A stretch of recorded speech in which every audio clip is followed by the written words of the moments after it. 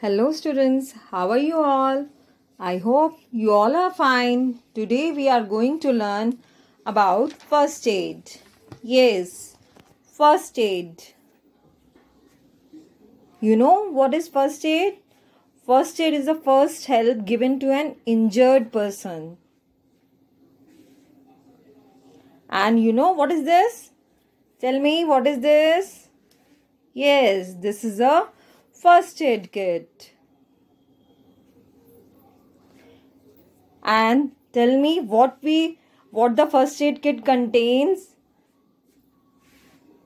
Bandage, plaster, scissors, safety pin, gloves, medical wipes, cough medicine, antiseptic cream,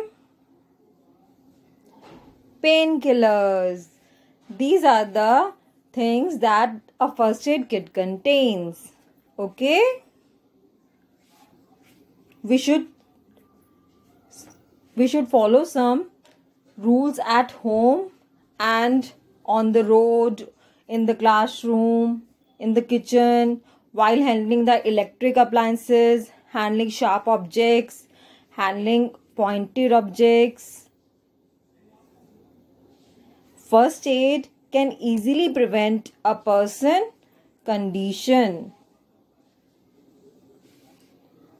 Okay, I will tell you some safety rules we will follow in the classroom. Do not sharpen pencil with a blade. Always use a sharpener. Do not break your chair or climb on the desk. Do not run about in the classroom. And on the road also, we should follow some rules on the road. We should follow the, we should cross the road only on the zebra crossing.